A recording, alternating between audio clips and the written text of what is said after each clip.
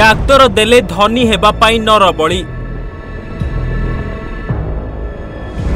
ମଣିଷ ରକ୍ତ ପିଇଲେ ଭଗବାନ ଧନୀ କରାଇଦେବେ।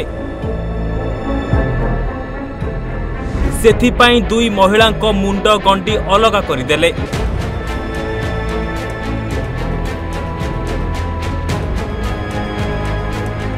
ବିଭତ୍ସ ଲୋମୋଟାଙ୍କୁରା ଅବିଶ୍ୱସନୀୟ।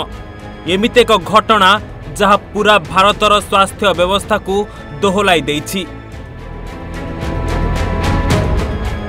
ପାଠ ପଢ଼ି ଡାକ୍ତର ହେଲେ ଲୋକମାନଙ୍କର ଚିକିତ୍ସା କଲେ।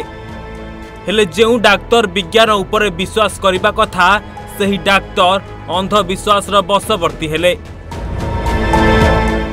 ଧନୀ ହେବା ପାଇଁ ଗୁଣିଗାରେଡ଼ି ଉପରେ ବିଶ୍ୱାସ କଲେ ଟଙ୍କା ରୋଜଗାର କରିବା ପାଇଁ ନରବଳି ପକାଇଲେ। ଏମିତି ଏକ ଘଟଣା ଦେଖିବାକୁ ମିଳିଛି କେରଳର ପଥନମଥିତ ଜିଲ୍ଲାର ତିରୁଭଲ୍ଲାରେ। ଡାକ୍ତର ଦମ୍ପତି ଘଟାଇଛନ୍ତି ଏମିତି ନାରକୀୟ କାଣ୍ଡ। ସ୍ୱାମୀ ସ୍ତ୍ରୀ ଅଧିକ ରୋଜଗାର କରିବା ପାଇଁ ପୂଜାପାଠ କରନ୍ତି। ତେବେ ଭଗବାନଙ୍କୁ ଖୁସି କରାଇଲେ ଅଧିକ ଧନ ଅର୍ଜନ ହୋଇପାରିବ। ସେଥିପାଇଁ ଦେବାକୁ ପଡ଼ିବ ନରବଳି। ଏହା ଜାଣିବା ପରେ ଡାକ୍ତର ଦମ୍ପତି ନରବଳି ପାଇଁ ଦୁଇ ଜଣ ମହିଳାଙ୍କୁ ପ୍ରଥମେ ଅପହରଣ କରିଥିଲେ।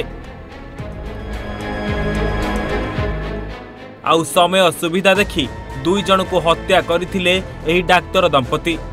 ତେବେ ଅଭିଯୋଗ ହେବା ପରେ ଡାକ୍ତର ଦମ୍ପତିଙ୍କ ସମେତ ତିନି ଜଣଙ୍କୁ ପୋଲିସ ଗିରଫ କରିଛି।